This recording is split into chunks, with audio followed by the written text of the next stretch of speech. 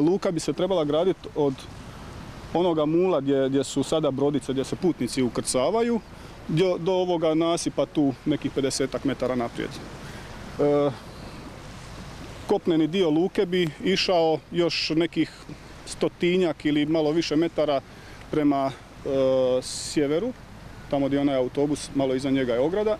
I to je obuhvat e, otprilike pet puta veći nego što je sadašnja luka u, Orebiću. Bitno je znati da se luka e, izmješta samo zbog prometne opterećenosti Orebića, znači nije problem e, veličina same luke, tako da e, to je jedan od problema, znači sama veličina luke, prevelika je. Tako priču o najavljenoj trajektnoj luci Perna počinje član tamošnjeg mjesnog odbora. Barić ističe kako projekt nosi brojne probleme i kako su svjesni da je reakcija zakašnjela, no kako je puno spornih pitanja i tekako rješivo. Prema planu Županije Luka Perna trebala bi izgledati ovako. Ona uključuje tri rampe od kojih je jedna nasuprot privatnih obiteljskih kuća.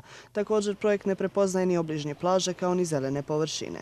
Mjesni odbor kućište i članovi udruge Plavi zid zbog ovog projekta podigli su čak dvije tužbe. Jednu na Upravnom sudu u Splitu a drugu komisiji za provedbu Arhuške konvencije.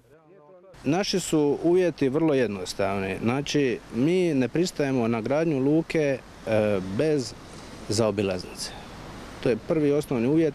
Znači, ne može se početi gradnje luka dok se ne napravi zaobilaznica.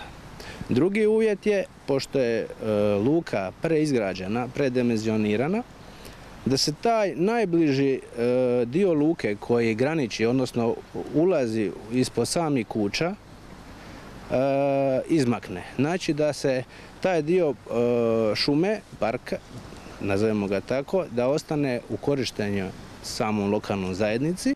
Udruga i članovi mjesnog odbora napravili su svoj prijedlog projekta kojim bi se uz navedenu zelenu površinu riješilo i pitanje treće rampe te sačuvale plaže, to je turistička ponuda od koje cijela lokalna samouprava i živi. Na temu Luke Perna održan je i sastanak u Županiji.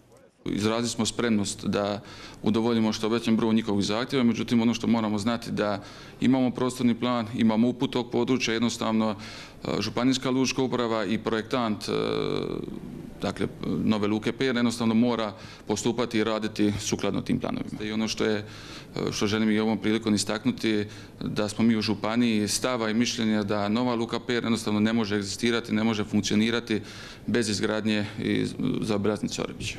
Upit vezano za obilaznicu Orebića poslali smo Hrvatskim cestama prije više od tjedan dana, no na ovu temu se nisu oglasili. Zamjenik župana ističe da županija s njima komunicira te da dokumentacija napreduje.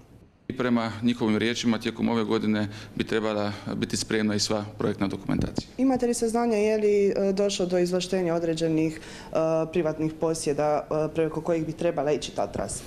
Pa mislim da nije, s obzirom da još nije ni trasa ni utvrđena definitivno, dakle to će pokazati kako studija, tako i izrada idejnog i kasnije glavnog projekta za obilaznicu Orebića. Urbanistički plan uređenja bi mogla izmijeniti općina Orebić, na čijem teritoriju je i planirana Luka Perna, no kako su istaknuli mještani, načelnik je na njihove upite gluh, a oduševljenje podignutim tužbama ili upitima vezano za ovaj projekt nije pokazao ni pred našim kamerama. Projekat Luka iz obilaznica omogućava nastavak kvalitete življenja svima i Orebiću i Kućištu. Ukoliko dođe do, do podizanja tužbe, što mislite koliko to moglo prolongirati sve? Pa ja nisam pravnik, nisam nositelj investicije. Luka Perna veliki je zalogaj za sve institucije koje se njome bave, ali još veći za mještane čiji bi sastavni dio života ona mogla postati. Dvije tužbe su podignute, a udruga Plavi zid ne odustaje. Kažu za budućnost svoje djece i cijelog kućišta nastavit će se boriti, a tužbe će povući samo ukoliko se njihovi uvjeti ispoštuju, to jest tako se naselje Perna od nove luke odvoji zelenom zonom, ukoliko se iz UPO-a izbriše treća trajektna rampa, te ukoliko se početak gradnje ograniči na način da luka ne može početi funkcionirati bez obilaznice Orebića. Inače, za projekt je resorno ministarstvo ocijenilo kako nije potrebna studija utjecaja na okoliš, a izrada glavnog projekta je ugovorena, te on mora biti završen do 1. rujna.